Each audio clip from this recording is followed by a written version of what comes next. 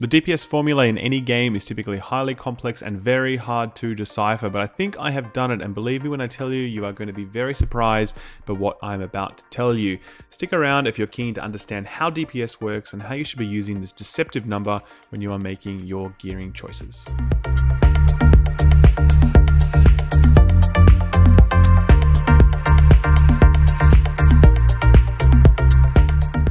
Hello and welcome back, everyone. It's Vesp here from SkillUp.gg. Today, I'm going to be unveiling how DPS is calculated in the division, something that many people have been wondering about for quite some time. I'm going to be doing this short version today, and tomorrow I'm going to be releasing a long form version that goes into detail behind all of this.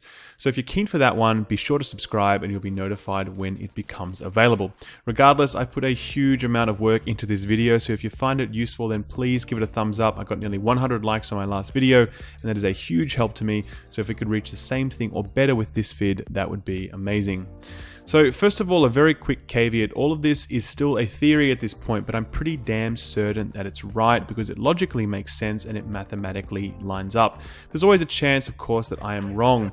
However, I'm confident enough in it that I'm willing to put it out there publicly uh, and share it with you guys. So for now, take it with a grain of salt until the uh, developers release an official statement on what this calculation is, or until we get the, into the live game and we can do much more extensive stress testing. So DPS is obviously a measure of how much damage we are likely to do over a certain period of time, averaged out in one second intervals.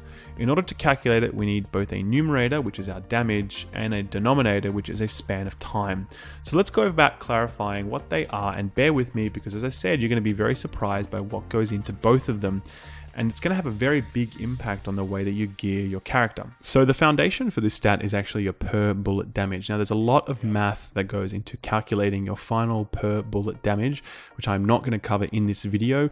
You can check the video tomorrow for the detail on that, but essentially per bullet damage is the cornerstone of this calculation. And just to be really clear, that is how much damage do I do when I shoot a target with no armor in the chest. That is your per, your base per bullet damage.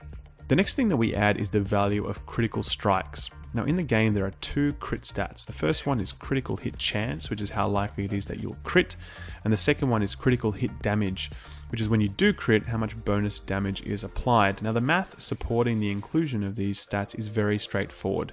It's critical strike chance times critical strike damage times your per bullet damage. So this is saying that every bullet has a certain percentage chance to apply a certain amount of weapon damage as a bonus damage, uh, and then we add this value to our per bullet damage to find the second part of our numerator.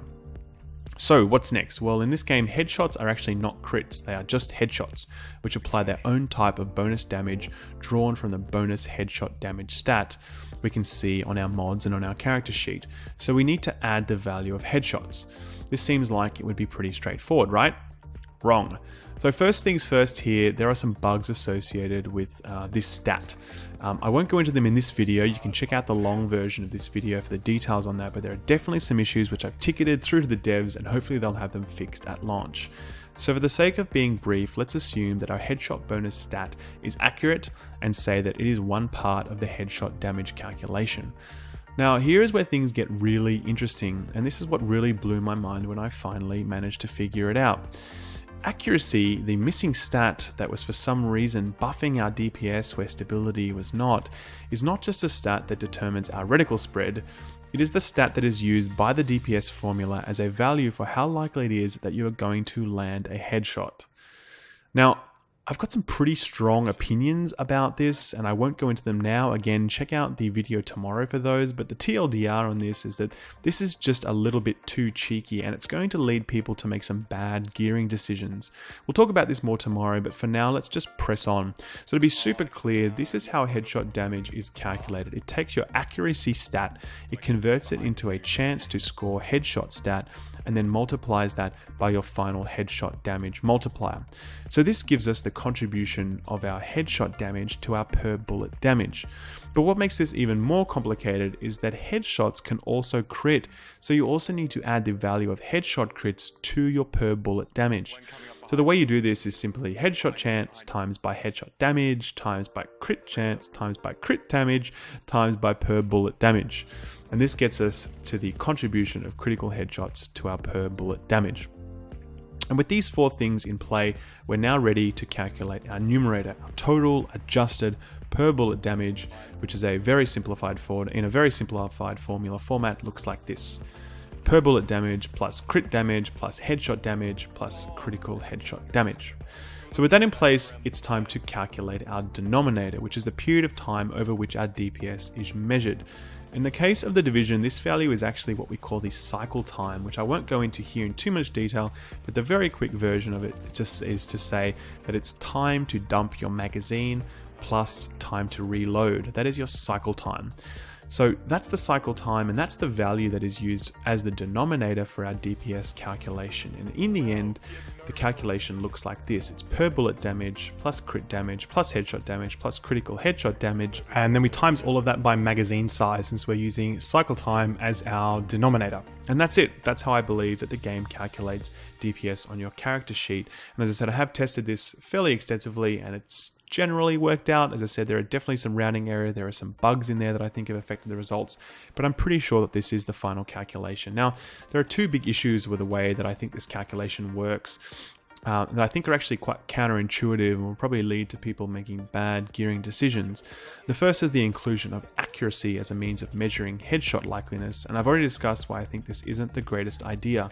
And the second is the inclusion of reload into this calculation, which I think is also really highly problematic and will lead to people making bad gearing decisions in both PvE but especially in PvP. So to hear more about this, be sure to check the long version of this video tomorrow as I don't want to bore you with all of that detail now. The long and the short of it, though, is that I don't believe that this is how DPS should be calculated, and I'm in fact proposing a different calculation that I think is a better reflection of likely in game performance. And that calculation is as follows per bullet damage plus our crit damage plus your chosen headshot damage plus your chosen headshot damage or crit headshot damage over your magazine dump time. So here what we've done is we've actually removed the automatic usage of accuracy as a substitute for headshot chance and we're allowing you to manually input what you think the likely headshot chance is. The second thing that we've done is remove your reload time because you should be able to determine if you want to focus on burst DPS or sustained DPS when you're doing this calculation. Now, so at this point, I'd like to put out a call for assistance. I'd really love to create a website that allows us to um, use this formula or use this formula to calculate DPS manually. But of course, I don't have any web skills whatsoever. So I've registered the domain name www.divisiondps.com, and I'd love for someone to help me build this calculator and get it out there so that people can use it to calculate a DPS value that I think is going to really reflect their in-game performance. So if you're keen to help me out on this, please let me know. So guys, that's it from it uh, from me today. I've tried to keep this as short as possible, and believe me that I have skipped over a ton of detail, but I wanted to get the formula out there in a short and punchy way so that people can look over it and then come back tomorrow uh, with a much more detailed look at this and really focus on what I think some of the shortcomings with this calculation. It's a funny formula, and I think that we need to get the word out about it so that people don't end up stacking tons of plus headshot damage on their shotguns. So if you like this vid, share it, Twitter, Facebook, whatever else, give it a thumbs up, and of course, don't forget to subscribe. There are plenty more videos on the way. Until then, take care and see you in the dark zone.